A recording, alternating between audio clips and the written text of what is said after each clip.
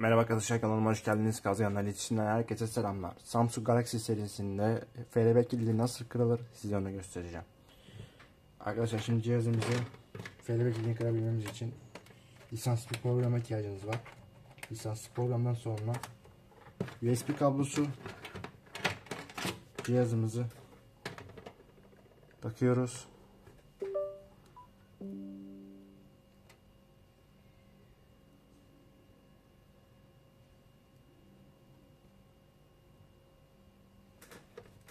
Cihazımızı kapalı bir konuma getirerek ses açma ve ses kısma tuşlarına ikisine basarak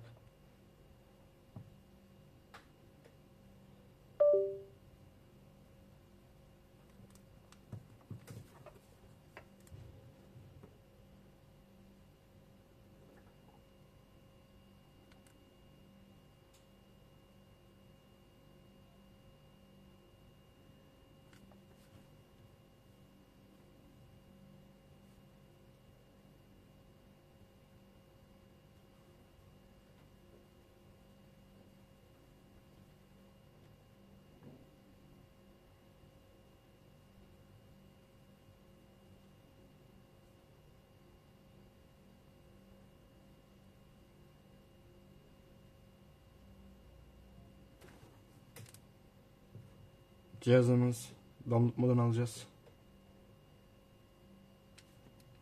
Modunu aldıktan sonra reset FLB diyorum.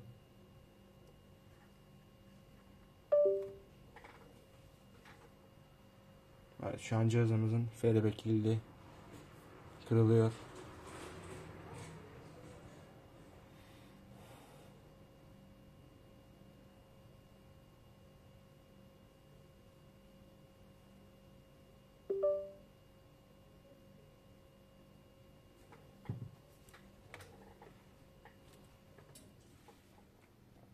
Reset FRB işlemi Samsung Galaxy J7 Prime şu saatten itibaren işlem başarılı bir şekilde gerçekleştirilmiştir.